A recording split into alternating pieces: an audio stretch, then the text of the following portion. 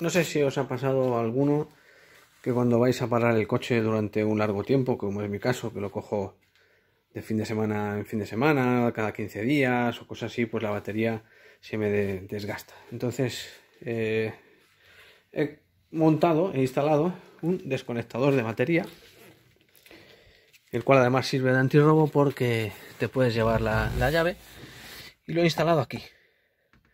Con esta llave puedo conectar la batería o desconectarla. Y puedo incluso llevarme la llave. Tiene una posición en la que puedes extraer la llave.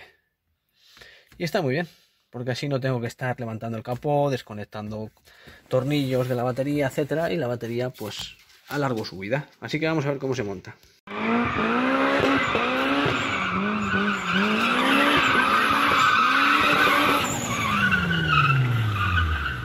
El sistema es sencillo. Vamos a coger el bono negativo, vamos a tirar un cable del grosor que luego veremos hasta uno de los bornes. Esto estaría aquí. Este sería el desconectador.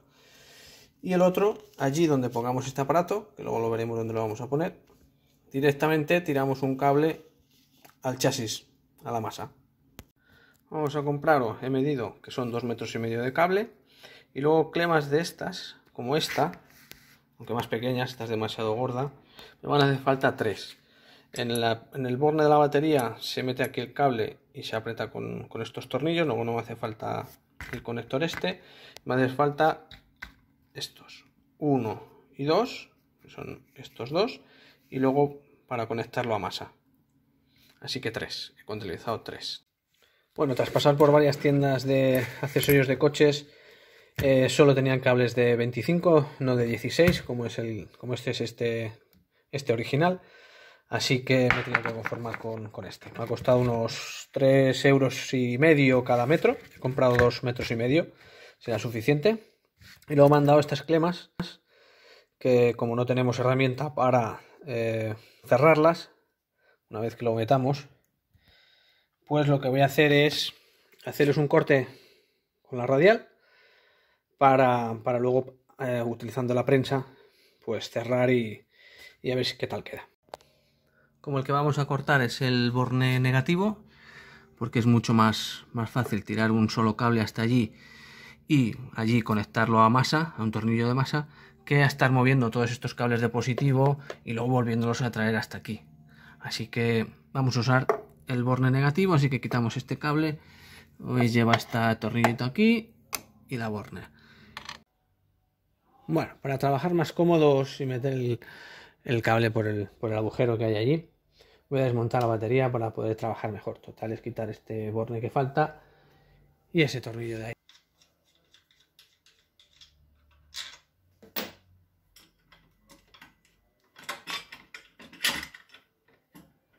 Y los apartamos ahí. Listo. Batería que pesan un montón. Exactamente. Es ese agujerito de ahí por el que ya he pasado otros cables en otras ocasiones. Como el cable es bastante gordo, con un destornillador largo, he agujereado la, eh, la moqueta que tiene detrás para hacerle un agujero gordo y lo he llevado un poquito hacia la izquierda del agujero, hacia la izquierda y hacia abajo para que salga por la izquierda del electroventilador como vamos a ver ahora por el otro lado. ¿Veis? Aparece ya por ahí el cable. Electroventilador, hemos retirado la moqueta y por ahí aparece ya el cable. Por ahí, por ahí, por ahí. Vamos a meterlo por dentro de esto y la idea es ponerlo en uno de los dos, en el reposavasos o en el cenicero. Ahora veremos. Esta pieza de aquí no sale más que más que a presión. Hacia arriba. Y ya podemos sacarla hacia arriba. Ya tenemos pasado el cable por allí por ahí por ahí por ahí por ahí. Ahora lo, lo, metemos bien. Y ya sale por aquí. Le he decidido que lo voy a poner aquí. En vez del cenicero aquí. Así que le voy a hacer la, el cajeado por aquí detrás para que entre esto. Bueno, se puede aprovechar esta rosquita, la vamos a poner aquí. La vamos a poner ahí y hacemos el agujero. Ahí se ve la marca que le he hecho. Y ahora con el taladro y una broca de, de madera voy a intentar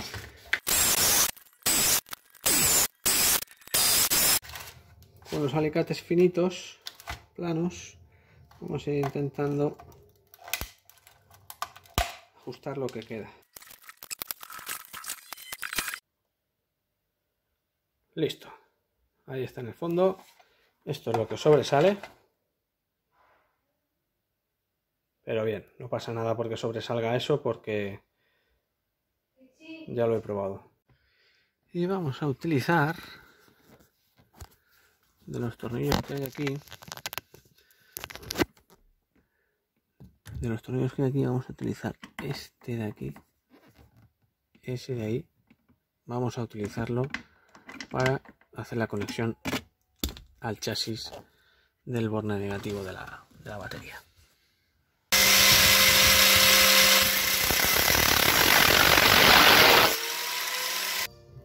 Tiene un montón de hilos.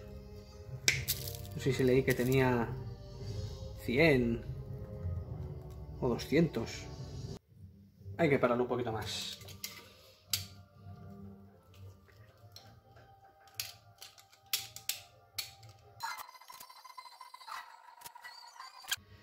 Una vez que lo tengo metido, lo que voy a hacer es prensarlo.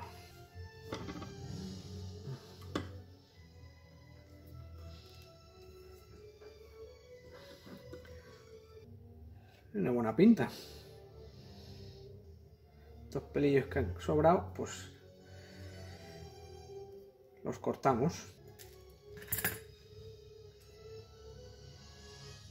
Sí, sí, ha quedado muy bien. Y ahora con un poquito de cinta o termorretráctil, cinta para aburrir, buena cinta, ¿eh? No le demos cualquier basura del chino. No me digas que no queda bien también. Bueno, ahora tengo que repetir la misma operación de antes con el conector, pero aquí, porque no lo he hecho antes, para que tuviera sitio. Así que nada, lo voy a meter aquí y en la prensa lo voy a cerrar. Mm, así es como queda, una vez conectado el cable al tornillo. Me quedan estas dos bornas.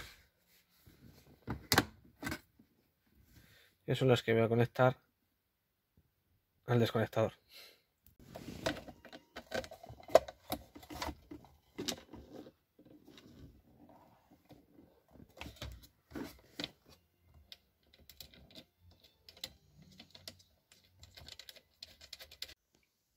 Después de luchar un rato, así es como, como quedan las conexiones. Hay que tener cuidado con esta chapita de aquí en medio, porque parece rígida, pero es bastante endeble y si forzamos un poco la podemos partir y al final no hace su función.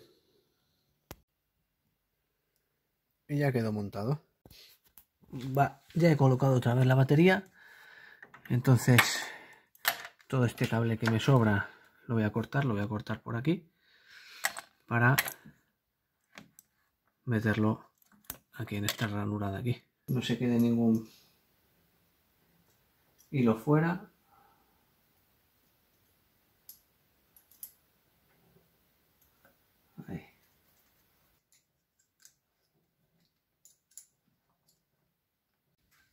Y aquí ya están las conexiones hechas. Su borne positivo tal y como estaba desde el principio. Actualmente tengo corriente.